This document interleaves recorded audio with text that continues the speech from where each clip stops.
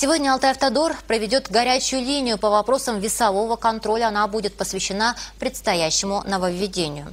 Это ограничение движения больших грузов по дорогам Алтайского края. Оно вступит в силу уже 1 апреля. Все интересующие вопросы можно задать сегодня с 13 до 14 часов по телефону, который вы видите на экране. На них ответит начальник отдела эксплуатации постов весового контроля Алтайавтодора Олег Семенов. Добавлю, ранее дорожные службы запустили горячие линии на время весеннего половодья. Соответствующее поручение дал губернатор Александр Карлин. Они созданы также на базе Алтай-Автодора и Упродор Алтай. Номера телефонов на экране. Здесь звонки принимают круглосуточно, чтобы оперативно среагировать на возможные негативные последствия паводковых вод или дохода.